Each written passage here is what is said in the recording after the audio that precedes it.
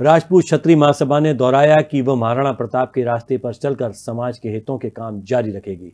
महासभा का नया अध्यक्ष भानु प्रताप सिंह को बनाया गया है। परासिया राजपूत क्षत्रिय महासभा की बैठक में भानु प्रताप सिंह को अध्यक्ष बनाया गया है और नई कार्यकारिणी का गठन किया गया। महासभा ने कहा, लगातार समाज हित में कार्य करना और लोगों के दुख सुख में खड़े रहना हमारा काम है। हम महाराणा प्रताप के आदर्शों पर चलकर राष्ट्र की सेवा करते रहेंगे। समाज के नेताओं ने कहा, समाज को एक करते हुए सभी समाज के लिए कार्य करते रहना है। क्योंकि राजपूत आदिकाल से राष्ट्र हित में काम करते आए हैं। तेईस को जिला राजपूत छत्री सभा की ब्लॉक परासिया की मीटिंग रखी गई थी।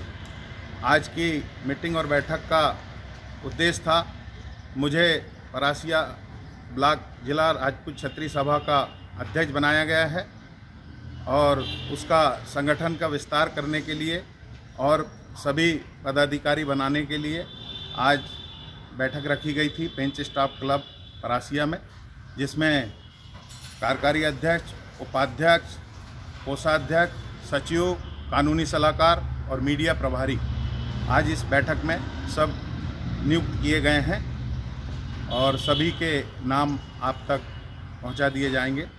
और हम सब राजपूत क्षत्रिय सभा के लोग एकत्रित संगठित होकर हमारे समाज के लिए, इस देश के लिए इस क्षेत्र के लिए और सभी समाज के सुख दुख में और सभी के सहयोग में साथ रहकर और समाज का को आगे बढ़ाएँगे।